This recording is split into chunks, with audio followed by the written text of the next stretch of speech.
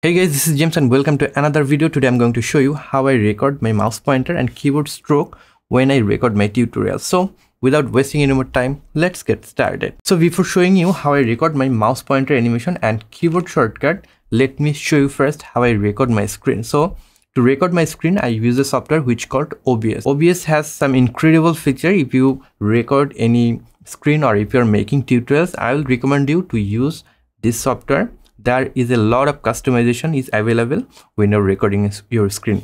Even when i'm zooming on something sometimes when i'm recording my tutorials you see i'm zooming on some particular spot right?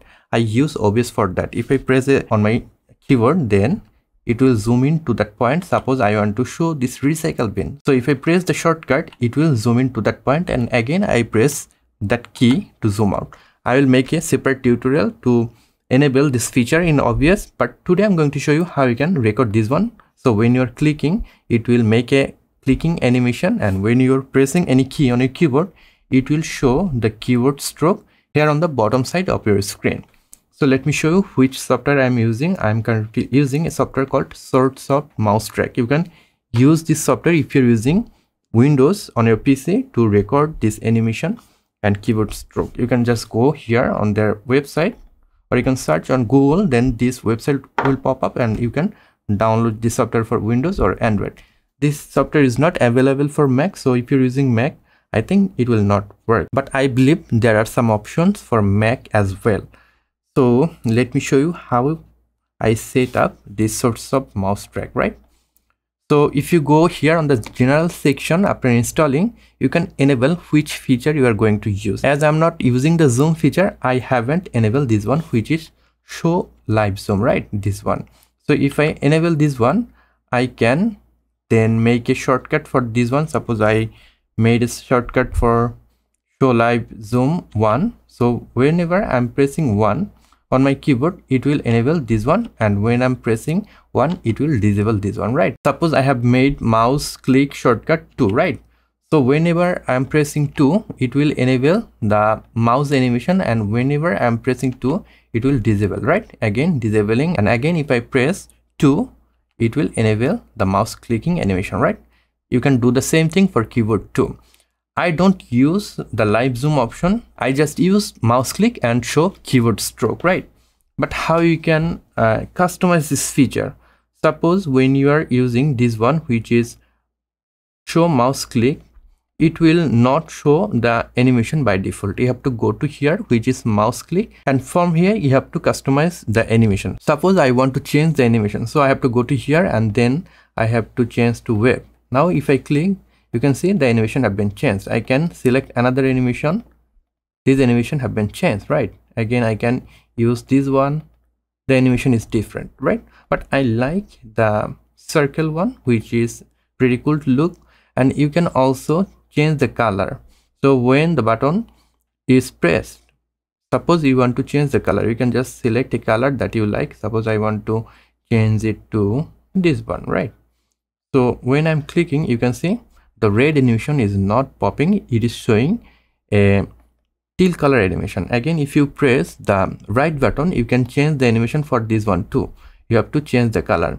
So these are the color option that you can select. Again you can enable sound option. So whenever you are clicking there will be a sound playing.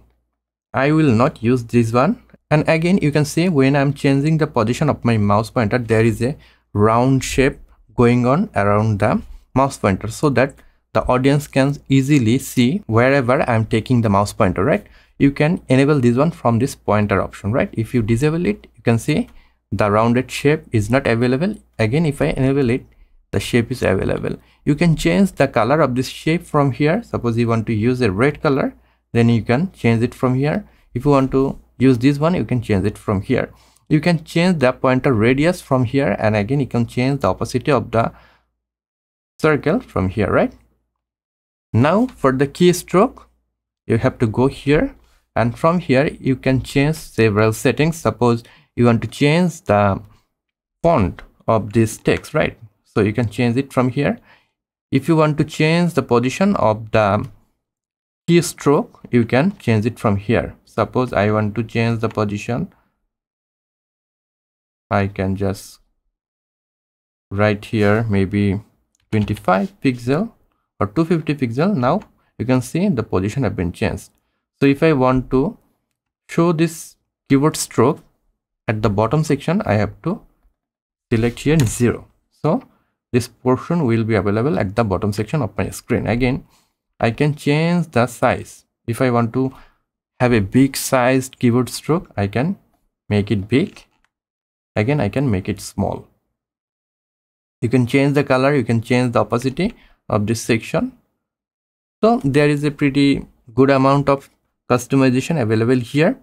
Now whenever i'm pressing f1 button i have set it to zoom in on a point right? But you can see it is not showing here because i have enabled filter keystroke. From here i have enabled f1 so that whenever I am pressing F1 it will not show here on the keyboard stroke section right?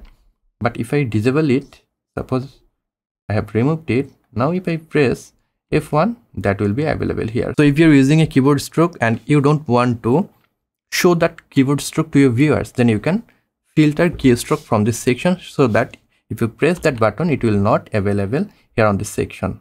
Again I will just add F1 here.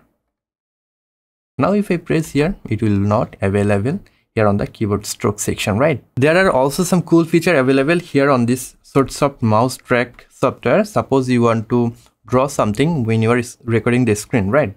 So if i go here on the general section i can enable show live draw right? If i enable it now i can draw whatever i want. Suppose i want point something or i want to circle on something i can use this feature to draw on my screen.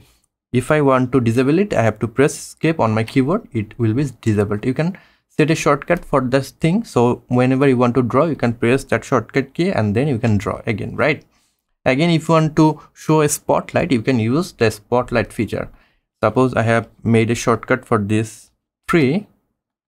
If i want to show this general section i can press 3 on my keyboard. Then i can show this section. Again from the keyboard stroke you can filter keyboard stroke 3 which is this one. Just add it. Okay now if you press 3 it will not show the keyboard stroke on the bottom section. Again you will have live zoom option. If you enable this one suppose i have short set a shortcut as 2 so if i press 2 it will show a zoomed version of that particular section. So that is the features that are available on this Swordsoft mouse track software. So if you're using windows and if you want to record your screen you can use this software to record the mouse pointer and you can also record the keyboard stroke using this software. I hope you have liked this video. If you have liked this video and learned something new from this one then you can give me a thumbs up. If you're new to this channel want to learn adobe premiere pro video editing then you can subscribe to this channel to get more awesome video just like this one. I'll catch you guys on the next one. Until then goodbye